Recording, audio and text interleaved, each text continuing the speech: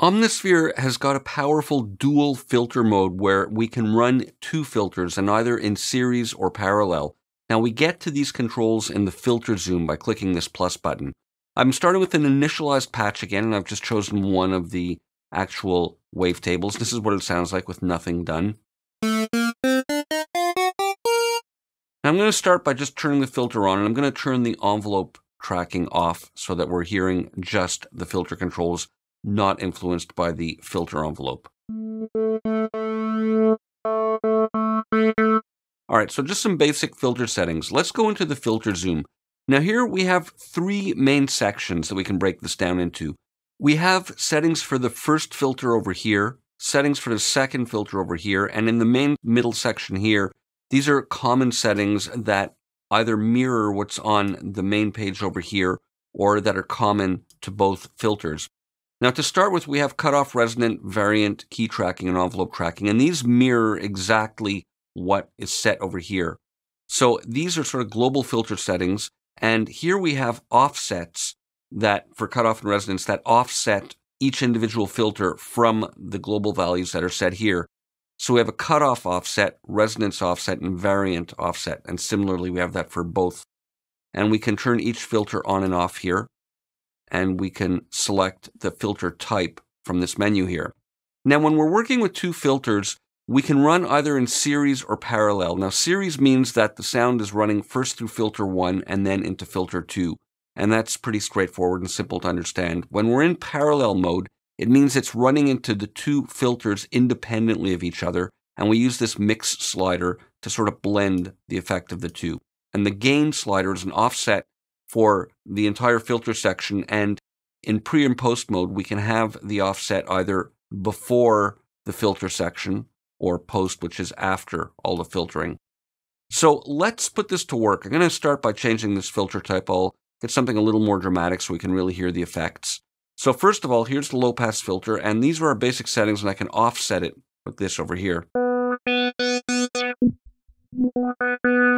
But it's all related to this value.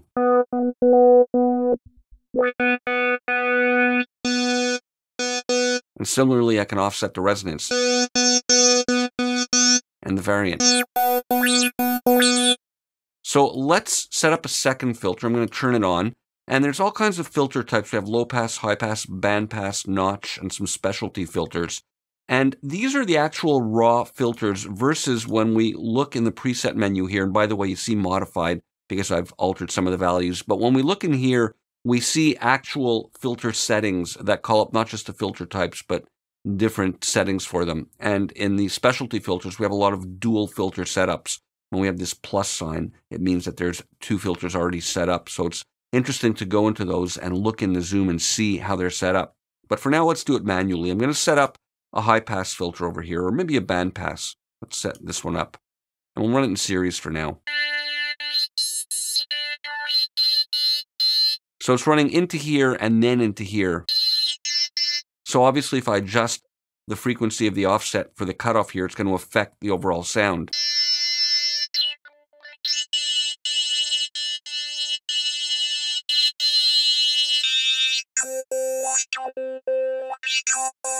And in series, the mix slider has no effect. So right away, that's some nice, interesting dual filter we can hear with the variant sliders the different filter effects. I'll turn them off one at a time.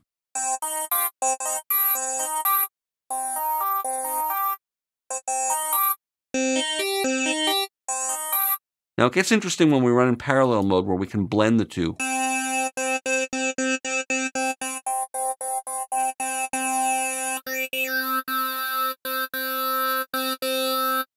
Boost the gain.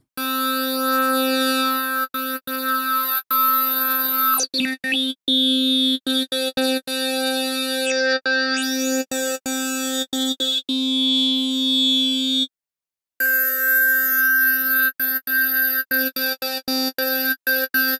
in parallel mode like this, when we adjust the cutoff offset of filter 1, it doesn't affect the signal arriving at filter 2.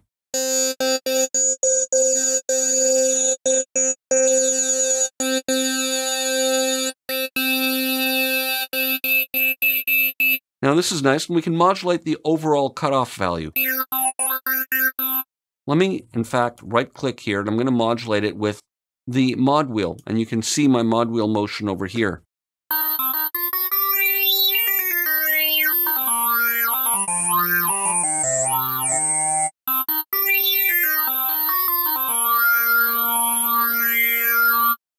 So you can see how using two filters really thickens up the sound and gives you a lot of kind of depth by having different filter effects and playing with the variant offsets especially can really place them in the stereo field and thicken up the sound nicely. So just to recap here, we have two filters. We set the filter type for one and two over here.